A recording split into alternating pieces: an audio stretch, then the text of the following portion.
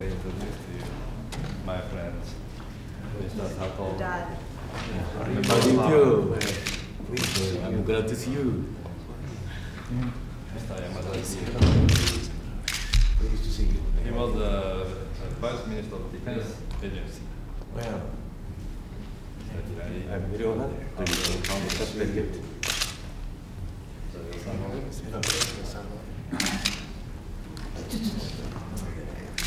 I think maybe they'd like to have a, a group picture, wouldn't they? Yes. Look this way, all ready? Here's another one. Thank you. Thank you. Thank Right. And now, we're gonna have our picture taken over and over again. And between the, the visiting press and our own Capitol Press Corps, there are going to be four groups. The Room isn't big enough to get them all in all at once.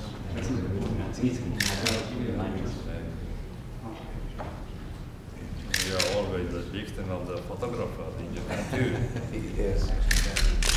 Yeah, sure, just stand by.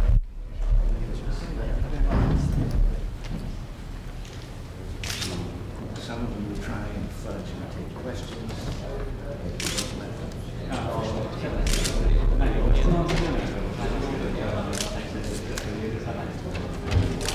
Engage some of them in.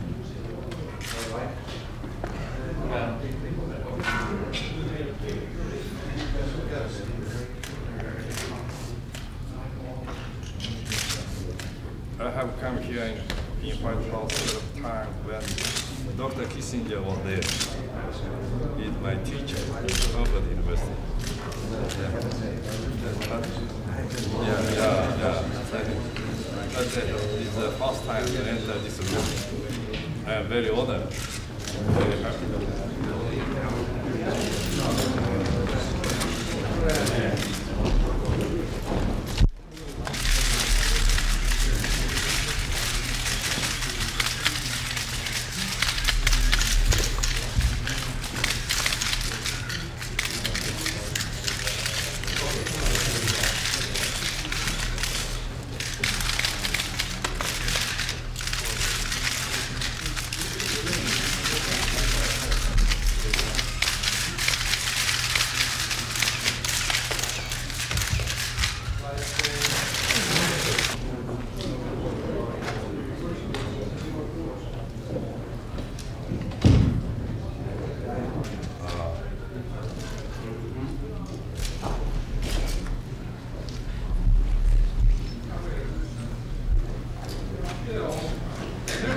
Oh, so many.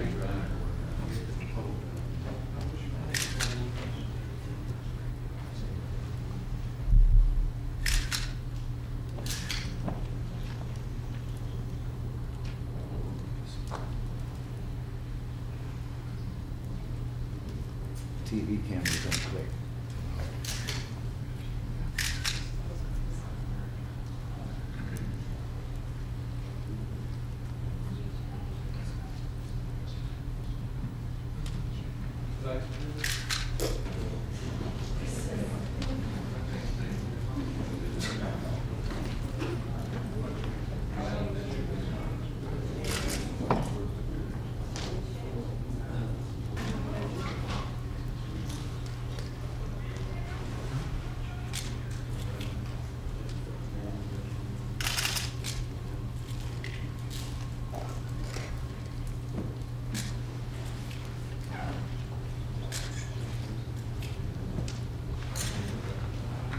Lights, please.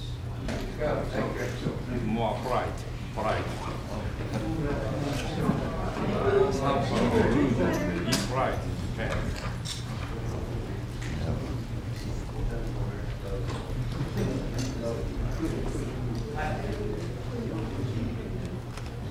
Here's where they're supposed to be. the most ocean.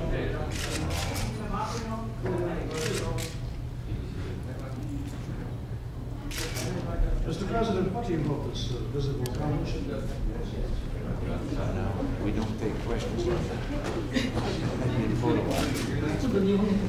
We've looked forward to this. Two foremost entertaining friendship that we have established. This, this is the Japanese. Uh, shake hands. They ask me. Shake hands with your president. They,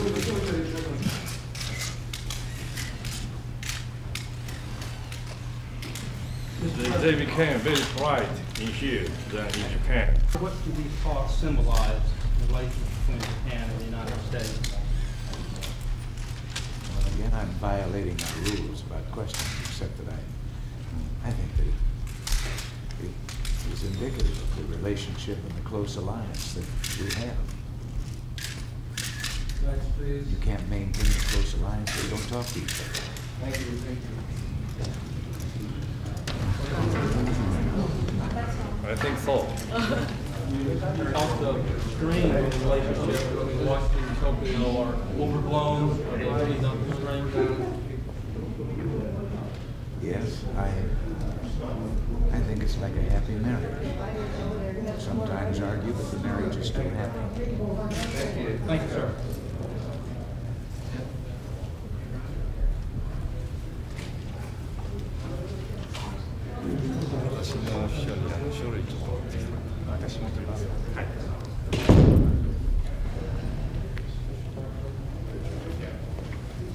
They're happy when they get that door closed.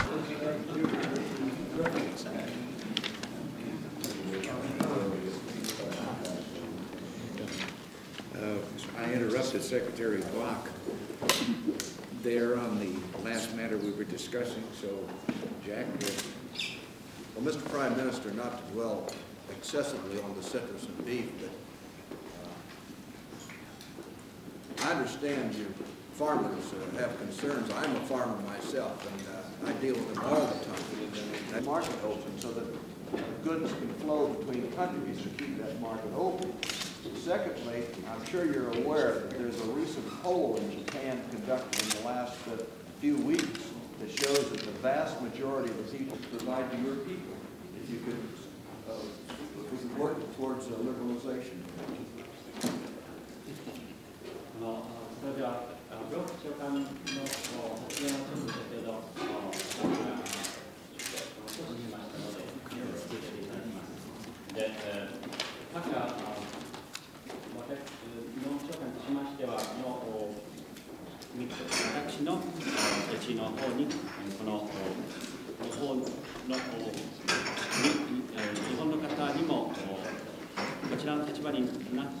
えていただきたいというふうに言っている次第でございます。それで、えー、のお国でしているようないろいろなこの効率化のためのお政府の助成金であるとか、それからあこの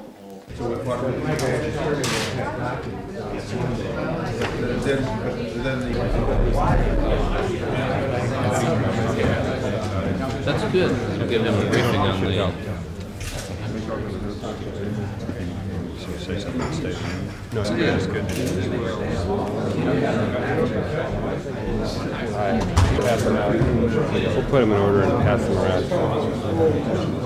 She's not going to go first. Oh, she's not? I told Morgan, I'll put those calls in this afternoon. I'm gonna list them, but I told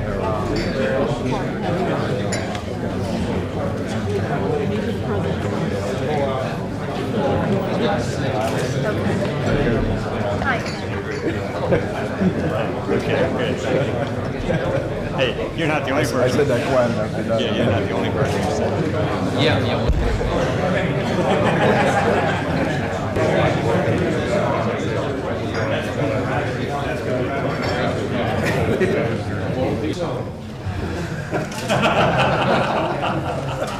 It's been that kind of day. Hey, Dick. I mean no insult to anyone, but I can tell you that Japanese language is a lot longer than the English. Thirty second announcement that takes two and a half minutes. Uh, Incidentally, Mac's department at two thirty this afternoon, let you in on some news, might as well leak this. For December, housing starts have declined uh, from November, thirteen percent, but that's still a seasonally adjusted rate of a million, two hundred and uh, despite that one-month decline, the rate of housing starts in December was still higher than any of the first ten months of the year. But in December also, the good news was that permits increased by eight percent, reaching the highest level since nineteen eighty, and uh, indicating that the general trend should continue upward in the months ahead. Now, there are several important areas to cover today, and let me start by saying that we're near the end of the budget process. It's been one of the most intense in history, at least from my standpoint. You're going to hear about the package I have under consideration with Stockman within the next several hours. We're going to review it in a few minutes, and I'd enjoy having your comments about it. I know that you've all been involved in developing elements of the budget, and what you will hear will in part be new, unless something else leaked overnight. I think it has the makings of a bold program that deals with a very severe deficit program in a fair way across the board. As I say, I'd like your views, I'd also like to keep the discussion within this room, silly me. Whatever is decided can be announced later this month. It would just be great if we could announce it.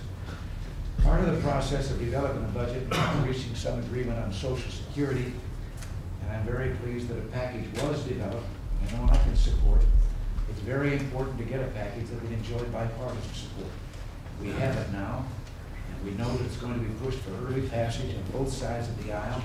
I have spoken with Tip O'Neill, with Rostenkowski, with our own leaders, with, even with Claude. And Believe me, they're all back of it, as are our own people. And I think it is a fair and across the board thing. And now two topics I'd like to discuss.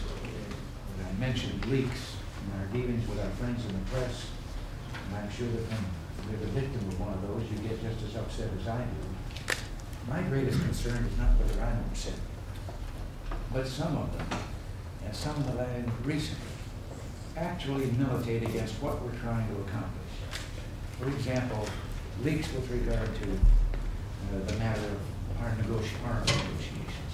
All of them dishonest, all of them false. You could see by the foreign press what a setback it was at a time when the Soviet Union is doing its utmost to try and discredit what we're trying to do with the leadership in our NATO, among our NATO allies. Now, we've cut down, uh, we've implemented a program that's working pretty well. It involves coordinating our press contacts and encouraging our people to talk on the record. Some backgrounding, of course, is necessary, but it's limited, and we assign who it is that we want to do a background. And we've cut down on a number of stories coming from the White House that are not authorized. Frankly, our problem now is that members of the press are going after sources in the departments. Last week, when White House sources were declined to comment on the budget and the tax alternatives, well, the press then said they got details from the Treasury Department. When the White House briefer was stating that I'd made no decision on the crime bill, a source at the Department of Justice said I was going to veto it. Gave the reasons, despite the fact that it hadn't even reached my desk yet. And when our meeting on the unemployment issues ended last week, we all agreed to indicate that no final decisions were made. That's what the White House briefer was saying, and I had not indicated a final decision. But our own White House press corps began calling departments and got a different story here and there. And when the White House was indicating that no decision had been made on wilderness legislation, the Associated Press indicated that a source at the Department of Interior, who asked not to be identified, was saying that the legislation would be vetoed. I understand that Jim has located that individual, and he has been buried.